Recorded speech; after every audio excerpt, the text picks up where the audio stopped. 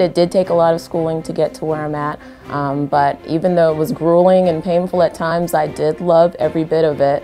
Um, and it's something that I want to pass on to my patients. It's important not only for me to be educated, but for the patient also to be educated as well and to carry that forward and empower the patient to, to take care of their own health. To diagnose a patient, um, we start very basically with a, a, history and physical, and this is essentially a story that's very focused on the, the particular issue that we're addressing.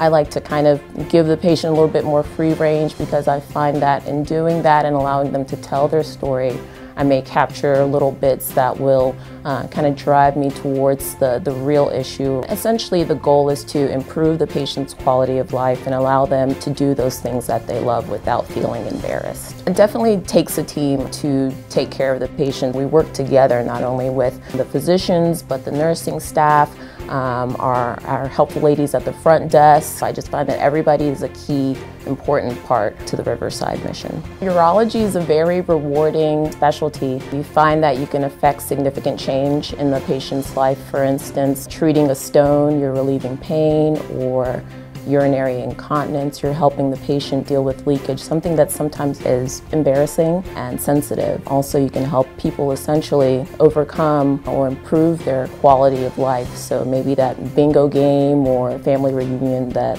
they couldn't attend because of their urologic issue, they can now attend because uh, you've intervened in those situations. I'm Dr. Olubemi McCoy, a urologist with Riverside Urology Specialist.